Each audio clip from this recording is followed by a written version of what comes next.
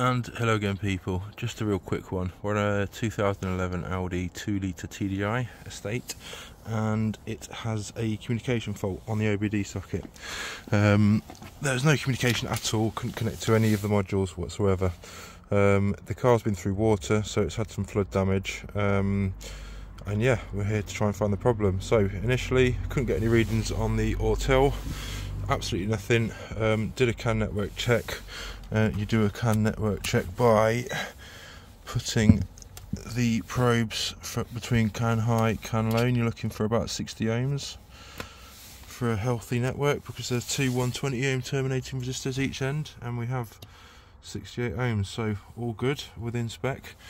Um, so the CAN network should work, but there's obviously an issue. So I was thinking, yeah, must be a module that's got wet somewhere.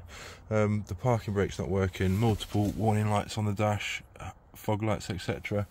Um, and luckily, uh, I got quite lucky. The first one I decided to disconnect was, now this is what you normally do with all CAN network faults, is you disconnect modules one at a time until you get the network back, uh, because a bad module on a network will drop the network down and stop everything communicating.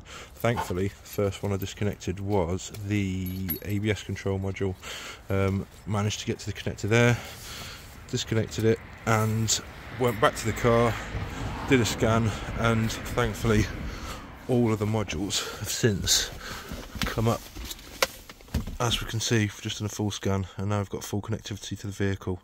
So just wanted to do a quick video on this one um, with regards to CAN network uh, fault finding um, and communication faults. So yeah the the the first point of call is to disconnect each module one by one. Obviously some vehicles have up to 50 modules. It can get a bit tedious and quite time consuming but yeah um, there was obviously no clear faults module looks okay.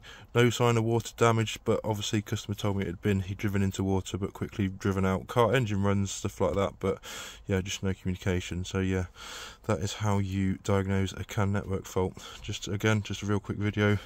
Using the breakout box multimeter. You don't need to use a breakout box. You can just go across pins uh, 6 and 14 on the actual OBD socket itself and get get the same reading just to make sure you, your network's intact.